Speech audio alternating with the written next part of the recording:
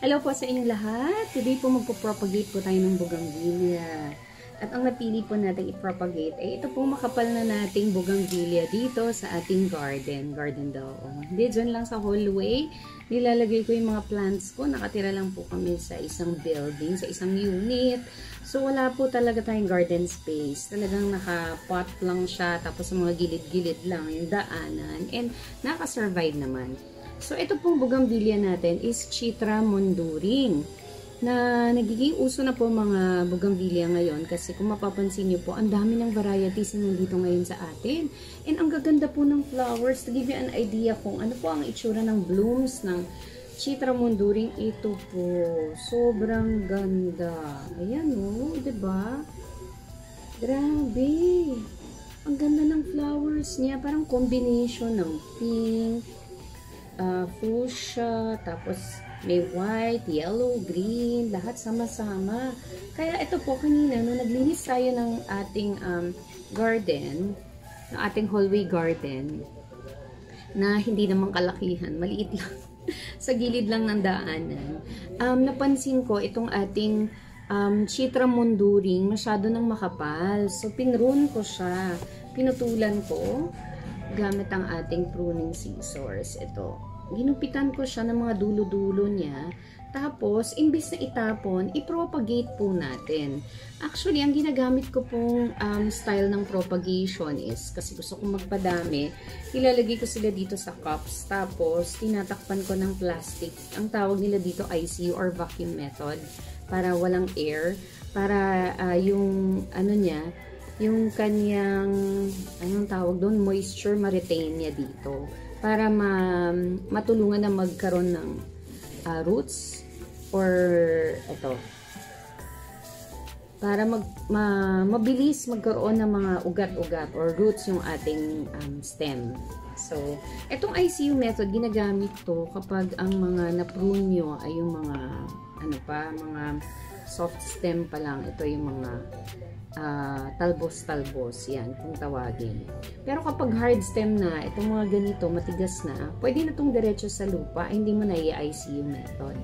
So, ito, um, since soft stem pa, gamitin natin yung ICU method natin. Pero ang susubukan natin this time, since naubusan tayo ng cup, ito, wala na tayong cup eh, hindi pa ako naka, naka-order, dito na lang natin sa plastic ilalagay para Okay? Mas mabilis gawin. Tapos, less resources, mas matipid.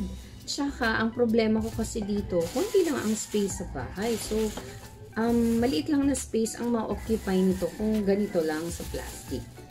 So, ayan. Mag-prepare na tayo ng ating medium. Ang gagamitin natin is um, pinaghalong um, ipa, ipa and compost, vermicast. Ayan, para maganda talaga yung lupa natin na kasama ng plant. Yan. Lagay na natin siya dun sa supot. Okay? So, ito na, tinanggalan ko na siya ng leaves tsaka ng mga thorns para hindi tayo mahirapan. Tapos, yung itutusok natin dun sa soil, ito, babalatan natin siya. Binabalatan para mabilis mag-root. Kumbaga, makakalabas agad yung roots. Dito siya magpo-form ng roots. Kung ano yung kakontak niya dun sa soil. Okay? So, ito na rin ang ginagamit ko yung pruner ko sa pagtatanggal ng balat ng ating Chitramon during Bougainvillea. Ang ganda nito pag lumaki. Ang dali lang magpadami.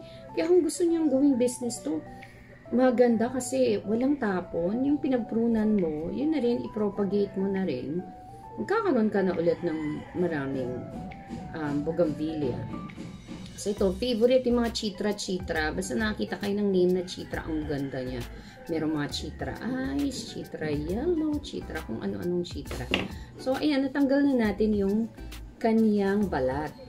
Tapos, ang pag-cut sa dulo, i-diagonal para yung exposed na area mas malaki compared sa flat lang.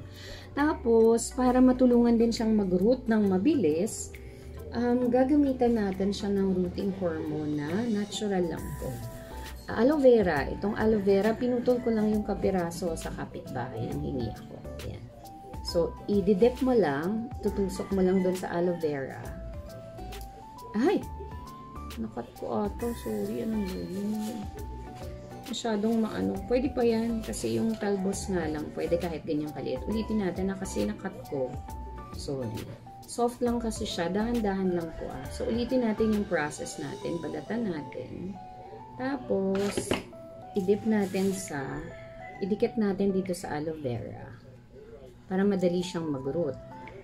Tapos, nalagay ko na po yung ating pre-mix soil na basa-basa. Ang gagawin natin, since ito, malaki yung plastic ko eh. Mas maganda yung yung lalagyan ng yellow para makitid lang. Ipo-fold na lang natin, 'di ba? Para ganyan lang. Tapos, lalagyan natin ng masking tape. So, double purpose to. Pandikit at the same time, dito natin isusulat yung name niya. Kasi sa dami ng ipopropagate mo, makakalimutan mo kung ano na yung type ng bougainvillea. ba? Diba? So, nadikitan ko na po siya ng masking tape para madaling sulatan. And then, nilagyan ko na rin siya ng pangalan, tsaka ng date for today. Para alam ko kung kailan ko siya pinropagate. Pwede ko siyang balikan after 2 weeks. Silipin natin kung nag-root na siya. Tapos, ilalagay na natin yung ating ipaparoot dito sa loob. Itutusok na natin. Ayun, sana mag-root siya ng madami. Teka, meron siya, meron akong na nalagay na bato. Tanggalin muna natin. Bakit may bato? Ayan. Tapos, lagyan natin siya ng air. Hipa natin. Tapos, ibuhol.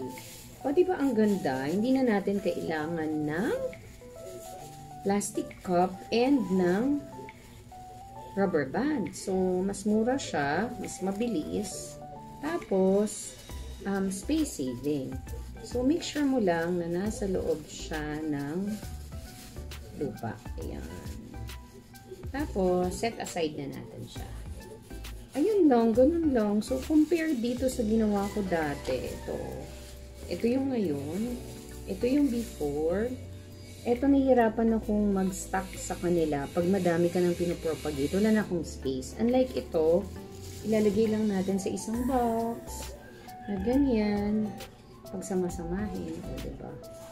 Mas madali. So, sana mag-work siya, no? Um, iaano ko sa inyo, ipapakita ko sa inyo after 15 days kung ano yung result. Um, kung wala po kayong aloe vera, pwede nyo pong gamitin ang saging, banana, o kaya garlic, o kaya, ano pa ba, apple, kung anong meron kayo dyan. Yung mga fruits, rich in potassium, maganda po yan. Saka, ah, pwede po yung rooting hormone. Pero, best is aloe vera kasi di ba yun yung pampakapal ng buhok. So, hopefully, kumapal din ang ating um, chitramunduring ng mga roots. Ayan. So, ito po yung medyo malaking version niya. Hmm. Magkakaroon pa tayo ng maraming ganyan. ba? Diba? Isang plant lang na pwede mong mapadami. Pwede kang uh, mag-propagate ka ng madami. Dami kong nagupit kanina yun. Kasi masyado siyang makapal. Ito, tatapusin natin. I-propagate natin lahat to using our new method na plastic lang. Ayan. So, ayan po. Sana po kahit pa paano nakatulong po. I-try nyo rin po ito and sana mag-work out sa inyo. And kung meron pa po kayong suggestions or comments or gustong um, ipa-content po sa akin, pwede nyo pong ilagay dyan sa comment. This is Bantorni G po. Please subscribe and share. And together po, um, magpapadami tayo ng maraming plants. Magtatanim po tayo para makatulong din po tayo sa nature kahit pa paano. For now po, goodbye na. See you again soon.